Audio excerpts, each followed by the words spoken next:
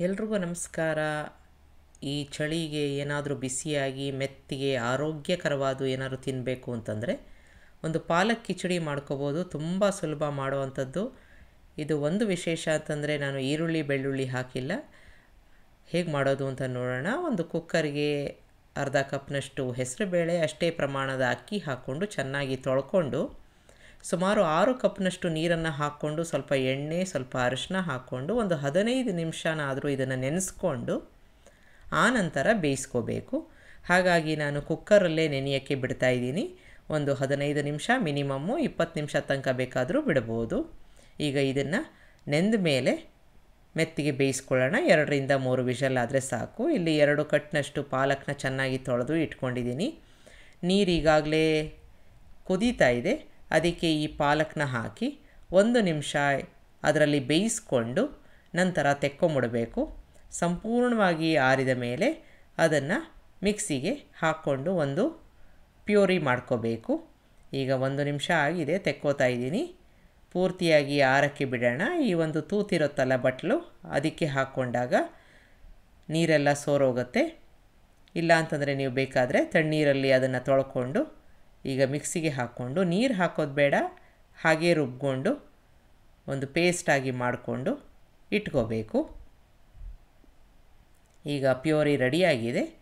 ಒಂದು ಬಾಣಲೆಗೆ ಎಣ್ಣೆ ಹಾಕೋತಾ ಇದ್ದೀನಿ. ನಿಮಗೆ ಬೇಕು ಅಂತಂದರೆ ತುಪ್ಪ ಕೂಡ ಹಾಕ್ಕೋಬೋದು.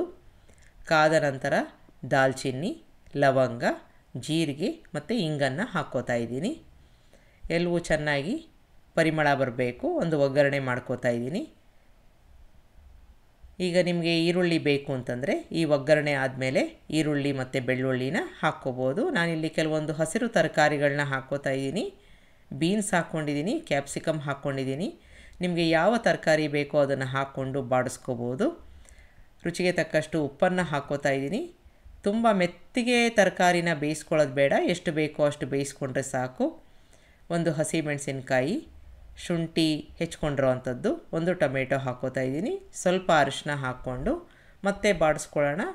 ತರಕಾರಿ ಒಂದು ಅರ್ಧ ಮುಕ್ಕಾಲು ಬೆಂದರೆ ಸಾಕು. ನೀರು ಹಾಕೋದು ಬೇಡ, ಹಾಗೇ ಬೇಯತ್ತೆ. ಈಗ ಇದಕ್ಕೆ ನಾವು ರುಬ್ಕೊಂಡಿರೋ ಒಂದು ಪಾಲಕ್ನ ಹಾಕ್ಕೊಂಡು ಸ್ವಲ್ಪ ನೀರನ್ನು ಸಹ ಹಾಕೋತಾ ಇದ್ದೀನಿ. ಚೆನ್ನಾಗಿ ಮಿಕ್ಸ್ ಮಾಡ್ಕೊಳ್ಳೋಣ. ಈಗ ಮತ್ತೆ ಇದನ್ನು ಜಾಸ್ತಿ ಹೊತ್ತು ಬೇಯಿಸೋದು ಬೇಡ.